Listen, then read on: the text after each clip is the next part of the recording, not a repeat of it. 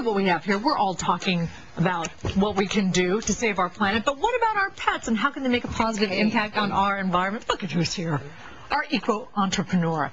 Anthony Zolezzi and the Eco Dog. What's the Eco Dog's name? Eco Dog is Sandy. With a cape, no less. Yeah, but an absolute with a cape. And she's a little disturbed to be on the set. We It's not about being on the set. It's about what's going on in the planet. This is Eco Dog, and I'll do anything to get this message out. Even come with a cape dog. Well, tell us what your message is, Em. Well, the message is basically every purchase that we make can have an impact on the environment. Look at this dog. Just by buying the right pet food, this dog alone can eliminate a couple thousand doses of antibiotics, 600 doses of growth hormones, just by eating a certain pet food. We want to reduce the dog's carbon paw print. Yeah, absolutely. and, and if you're buying product, Right. you can look for things like, like right here, it just says no, no factory farms, no antibiotics. You know ah. that this is from small family farms, and that's what's critical. So this dog, just in the purchase that you make for pet food, can make a difference. Now, I know you have the dog here, but you also point out in research how hog farms, for example, they can pollute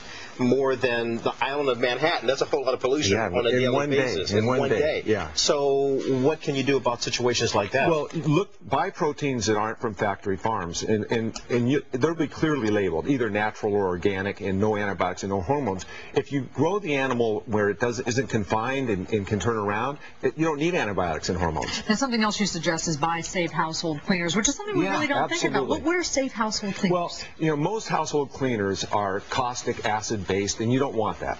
And so, uh, you know, some like this, this is a great company. Um, they produce a product uh, that is orange based, so it's citric based, and citrus based. Uh, but more importantly, you know, better for the planet and better for your pet better for if the they planet, better for you. And also, we think about carpet cleaner because the dogs are, are Of short. course. But think about uh, toilet bowl cleaner too because that's very caustic.